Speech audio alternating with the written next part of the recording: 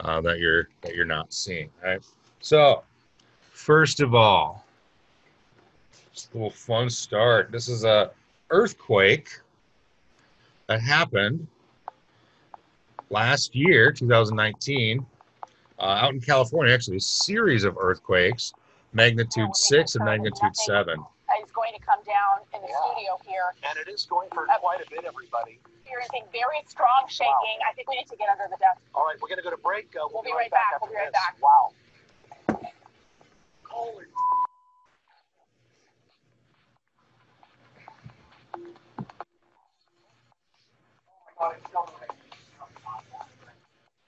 Okay, can you imagine being on that roller coaster during an earthquake? I think everybody needed a new pair of pants after that.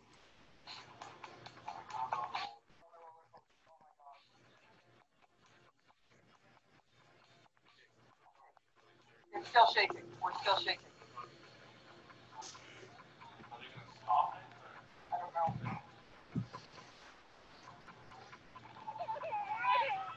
Oh my gosh. This is an earthquake sequence. It will be ongoing. So the fault is growing. We ruptured a piece in the first earthquake. We ruptured a bit more in the 5.4 this morning, and we're rupturing more now.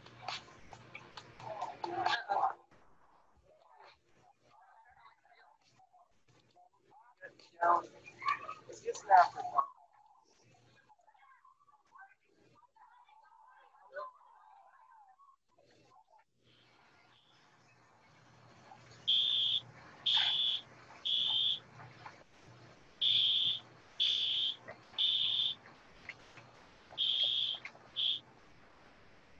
Get on the table. Get on the table. Shit! Oh my god. Oh my god. Oh my god. Oh my god. Oh my god. That was a Oh shit. This is so fun. Oh, the front door came open. That's okay. It's okay. Just hold on.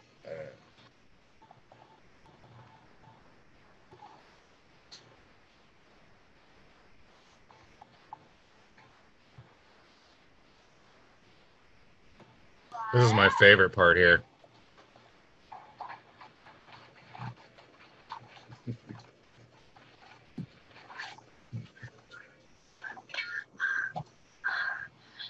First, though, we want to get to Southern. All right, let's see here. So that's kind of what's what I want to show you. That was uh, again uh, last year, uh, 2019, uh, in California. Um, I did link that one. It is linked under uh, uh, videos for this week as well. Um, so if you want to share with your friends, but uh, I'm just kind of you know, I mean, scary, yeah, right. Um, uh, but uh, you know, I don't remember really hearing even getting any deaths. Yeah, there was some damage, but uh, but not a lot of death associated with that, which is surprising because you know, that was like a, a magnitude 7.1 earthquake, and we'll see a, a, another 7.1 earthquake later today. That will will be a little bit different. But uh, one of the things I'll kind of keep harping back on um, in this uh, when we talk about earthquakes um, is uh, is a mitigation. Well, actually, throughout all of these natural disasters, one of the big things we'll be discussing is mitigation, or or how do we buffer or dampen or mitigate the effects that these natural disasters have on us as a as a human population and society, right? Um, but for earthquakes, one of the huge mitigation techniques or or things used uh, that can be employed are building codes. Uh, obviously California has pretty strong building codes. Japan pretty strong building codes. Um, uh, Peru actually pretty strong building codes as well. Um, but you know other places around the earth do not have such strong building codes. You know Haiti, Mexico City, stuff like that. And we'll see uh, what a difference that those can make uh, kind of later today here. But uh, uh, what we did, you know, so California earthquake, 7.1 magnitude on the Richter scale. So that's a pretty large quake, right? Now, last chapter uh, in the videos, you saw uh, the the relationship between the distribution of earthquakes uh, and volcanoes uh, related to plate tectonics. Now, here are just the earthquakes uh, shown, uh, and you can see with just plotting the earthquakes, uh, you know, you can see pretty much that these delineate all of the different tectonic plates that we have, not the, even just the large ones like the African plate here, but we can even see small ones like the Cocos plate and the Nazca plate, stuff like that here too, right? Uh, look in the Mediterranean, you can see this is just, there's all sorts of craziness going on in there, right? But here is our Pacific Ring of Fire. You'll notice that, you know, this is where we would see all those, those large active volcanoes as well. Uh, but we see lots and lots of earthquakes along our Ring of Fire as well. So distribution of earthquakes, how do they relate to plate tectonics? Yes, they relate to plate tectonics. They occur and actually delineate or demarcate or mark uh, the boundaries between our, our large tectonic plates. So they occur at plate boundaries.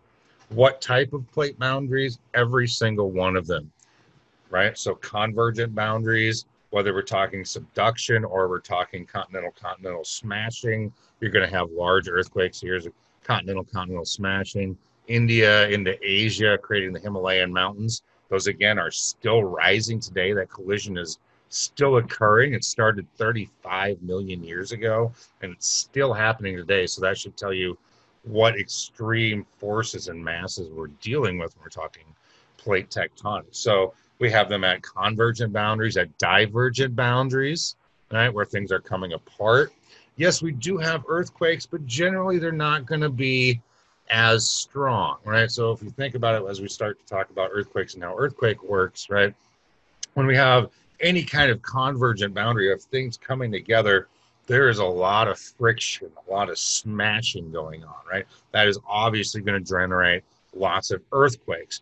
Uh, at divergent margins, right? We're pulling things apart. New new crust is being created as it as it rises from the mantle. But but still, as we pull these apart, we do get earthquakes. They just generally are not going to be nearly as large uh, as the earthquakes that we see at convergent boundaries and transform boundaries, right? Sliding past each other. The most famous transform boundary in the world, right here, the San Andreas Fault, right? It's just sliding slowly past itself, right? And we know because you know it's our, our California quake that started the uh, the 7.1 magnitude earthquake uh, last year, um, and we know from previous earthquakes that those can be large and devastating as well. As whenever you have hard rock, solid rock on solid rock just grinding, that's when you have potentials for these large earthquakes.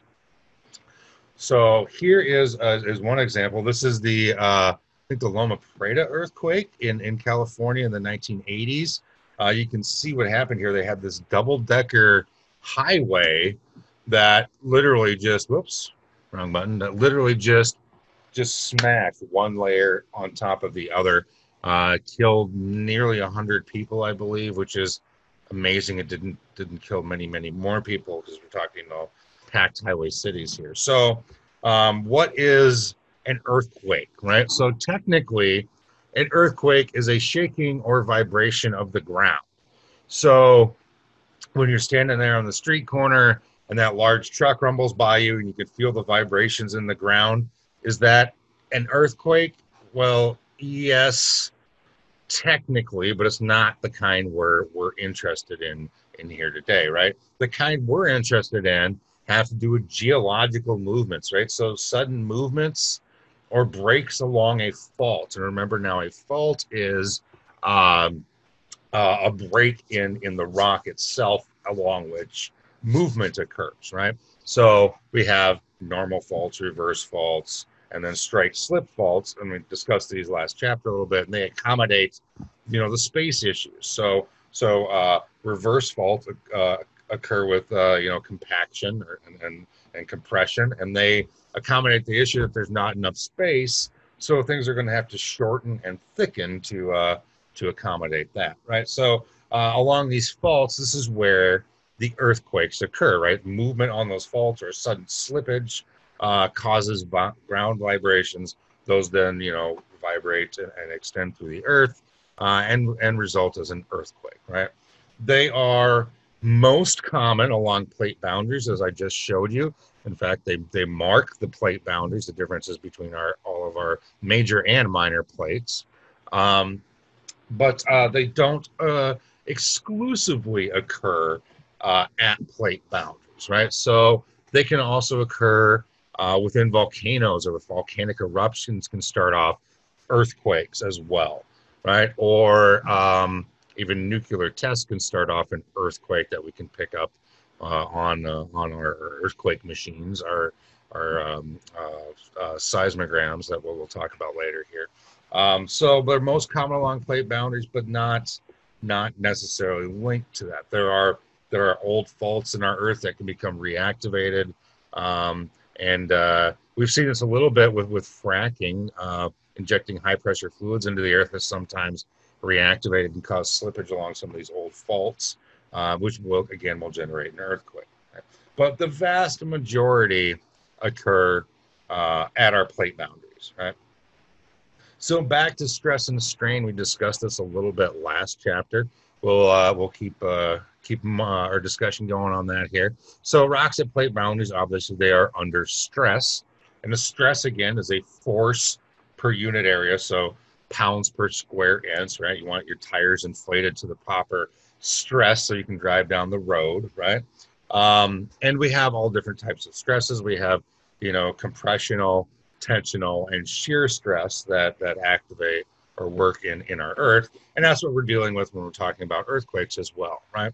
So, as the stress builds up, right? So stress is a force per unit area. Uh, the the rock starts to build up strain, and now what strain is? It's essentially stored energy from from the just basically this stored stress. So it's, it's a potential energy, right? Uh, and then they, they, tend to deform. So strain and deformation refer to you know that that buildup of energy and, and change of shape of the rock itself. So as things start to move past each other, right? They might not. They're not moving. There's a lot of friction in there, but they're building up lots of strain and storing up this energy, right? At some point, the strain exceeds you know the strength of the rock itself and when it exceeds the strength of the rock uh, the rock is going to do what we call fail or break right and this is going to release that that strain that stored energy as vibrations throughout the earth and we get an earthquake right so as this stress builds up things start to deform right and strain builds up and then they snap and release that energy and that is when we get an earthquake. Okay. So to discuss earthquakes here, um, the, the, the theory that we, we are, are currently running with is known as what's elastic rebound theory.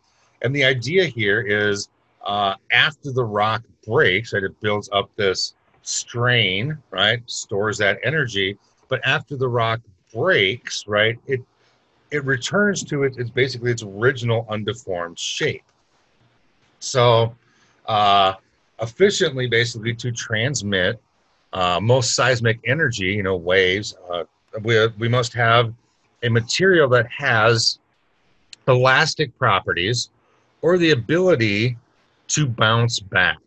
Now, what do I mean by that? We'll take a look here at this this uh, example of a stick, right? So here's our original stick, right? Now we've added stress to it, and the, the stick is building up strain and starting to bend right? Uh, and then we exceed the ability of that, we exceed the strength of that stick, and it ruptures. But now we're not stuck with two, you know, bent, broken halves of stick. We're stuck with two straight halves of stick uh, because they have snapped back elastically to their original position. So let me show you that here. I've got my live stick demo. Let me make sure I can. All right, here's my live stick demo, right? Oh, actually, I should probably here. Um, let's see. All right. My stick demo is not working because I have my background on. Hold on a second here. Stop sharing screen. No. Okay. All right. So that was screwing up my uh, my stick demo. All right. Here's my stick. Right. So here's the idea.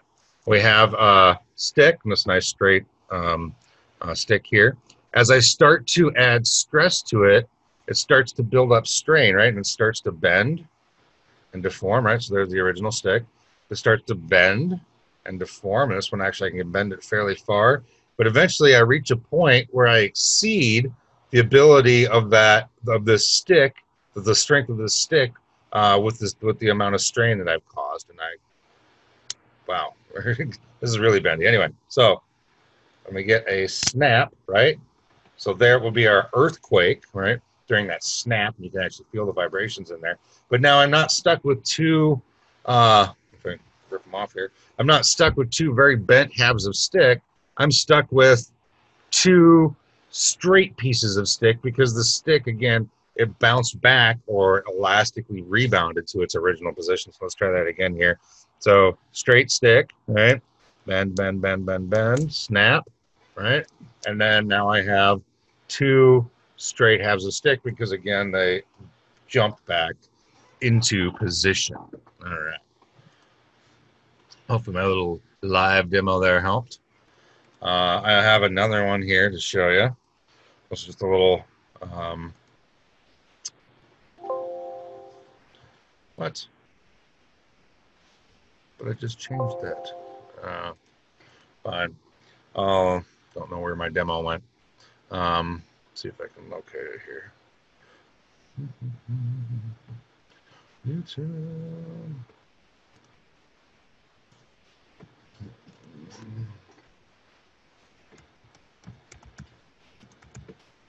About there.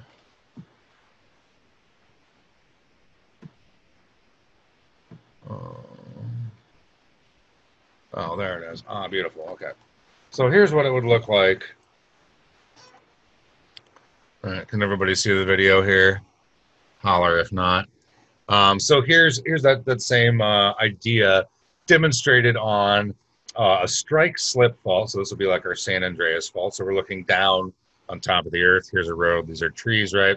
And we start to uh, to um, uh, uh, add some stress here. It's going to start to strain uh, our our, our uh, geology here, which we can see when we look at this nice straight road here.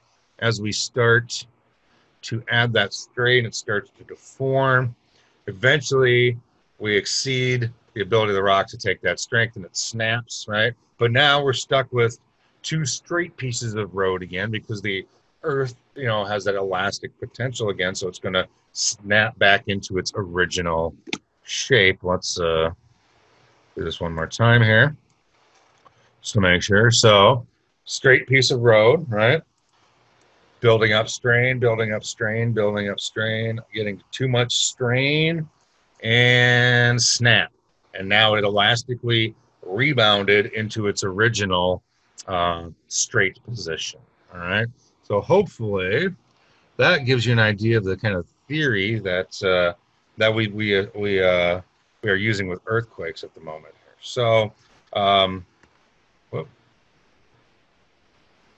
again, that is elastic rebound theory. It's our it's our our, our theory for how uh, earthquakes operate. So again, uh, no elastic potential, no earthquake. So take a piece of taffy or Play-Doh, neither of which I could find this morning, uh, and try to cause an earthquake, and that it's simply not going to happen. It's just going to, right? Because it has no elastic potential, no want to rebound into its original position. It doesn't build up that strain, uh, so it doesn't doesn't rebound, right? A couple important definitions when we're talking about earthquakes here. First of all, the focus, the focus of an earthquake uh, is the point of actual rupture, rupture where that where that uh, the the slippage occurred, where you know that strain built up so much that that you know it caused that that failure. Uh, that is the focus of the earthquake, and generally it is underground, fairly deep underground, right? Um, however, the epicenter, which is uh, what we're more familiar with when we're talking about earthquakes, you know, where was the epicenter of the earthquake? The epicenter was, you know, the earthquake was centered right on, you know, downtown Los Angeles or whatever, right? That is the epicenter of the earthquake. And that is taking that focus and projecting it straight up to the surface of the earth. So if you were to look from the epicenter straight down, there would be the focus of the uh, of the earthquake. And and why do we care about an epicenter? Well, it's the spot on the surface of the earth that is closest to the focus and therefore is going to experience the most intense effects of the earthquake, ground shaking, energy release, all that kind of stuff, right? So moving away from here, right? Thinking of this as a, as a point underground, right? Moving away from here, kind of concentrically, we're getting a little farther and a little farther and a little farther away from that that epicenter and the the feeling, you know, and the intensity of the earthquake It was going to be less and less and less the, the further and further away you are from the epicenter. So uh, if you are the poor soul whose house is right at the epicenter of that earthquake, you will experience the most, you know, intense shaking. Your your town is right at the epicenter of the earthquake, right? The town, you know, 20 miles away from you is definitely still going to feel it, but it's not going to be as intense as it is right where right where you are at the epicenter, right? So now that we know what causes an earthquake, right? We have that elastic potential and that snaps, right, and releases that energy as vibrations, and it releases it as vibrations called seismic waves. Now, we have three different types of seismic waves, um, and uh, they, they, act in, in, in, three different types of, of manners as well. So, the first one that we have is the P wave or primary wave. P wave, primary wave. This is the fastest wave, right? It actually it acts as kind of an extension and compression, uh, but it travels the fastest through our Earth. Then we have the secondary wave, which would be this guy here. Right? Secondary wave uh, also travels through our Earth, uh, but it's a little slower than the primary wave. So wherever you are, it arrives after the primary wave, so it arrives second.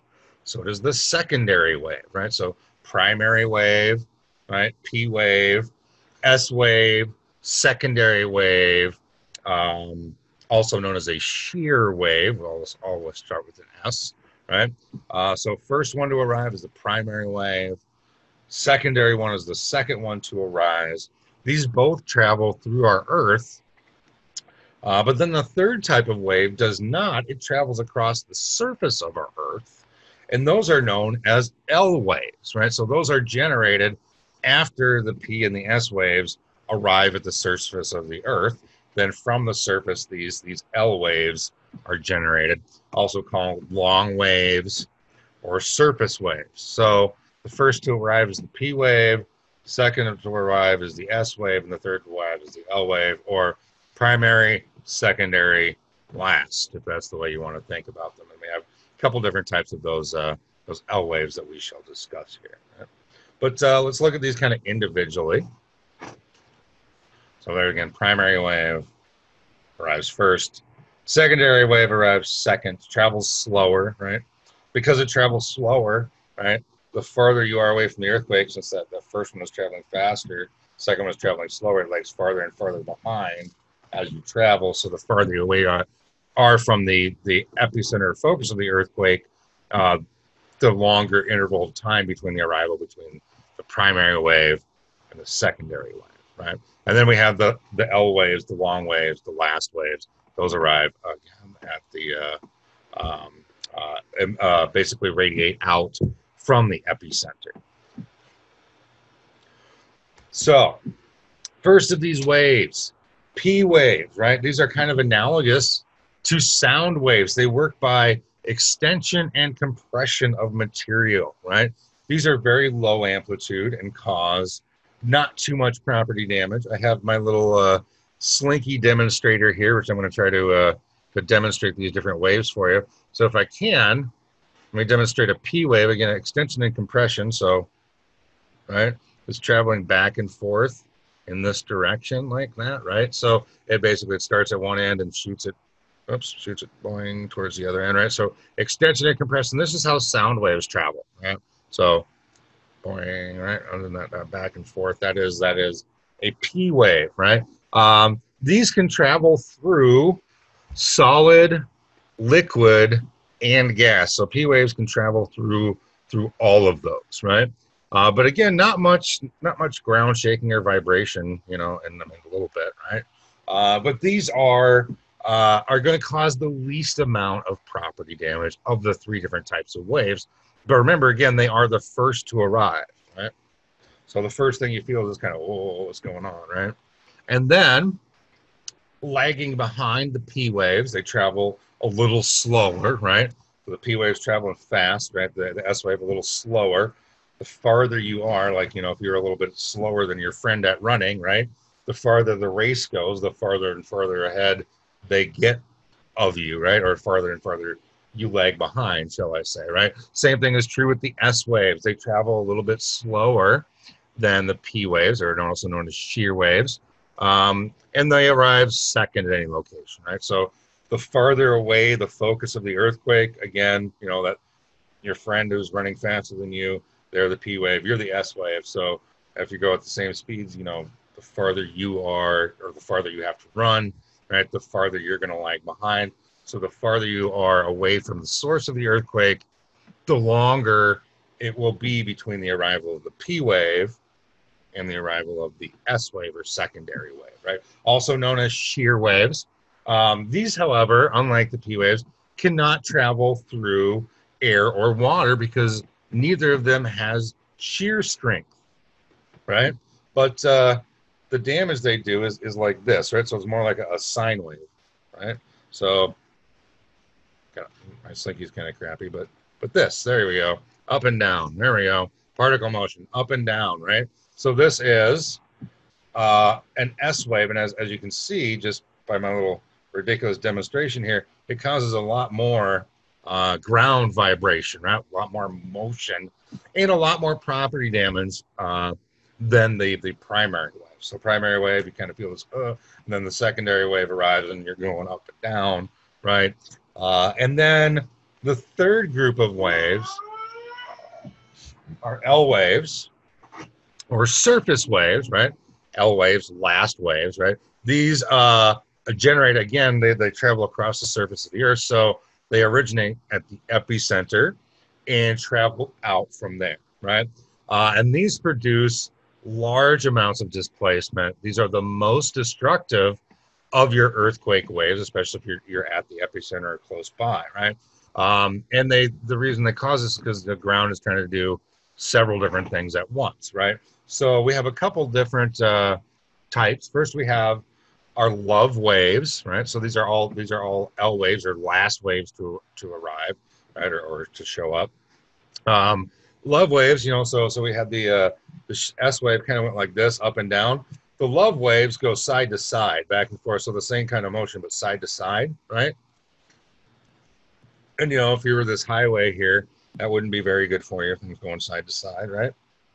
Um, and then the Rayleigh wave, uh, the, the second kind of, of uh, L wave or surface wave that we have, uh, this one actually produces um, essentially, get this to, to, work for me here.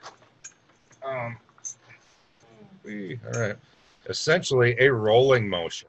So it produces a lot like kind of um, uh, an ocean wave works. It's an up and down and back and forth rolling motion, right? So this is our this is our Rayleigh wave, and as you can imagine, that doesn't do very good. So uh, going over our waves again, first we have our primary wave, which is our extension and compression.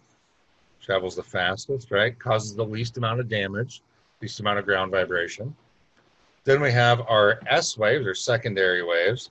Those are you know, shear waves as well, right? We can see quite a bit more ground vibration there, right? And that up and down motion, right? And then we have our surface waves, our last waves to arrive, and they cause the most destruction. First of all, we have our L waves, side to side motion, right?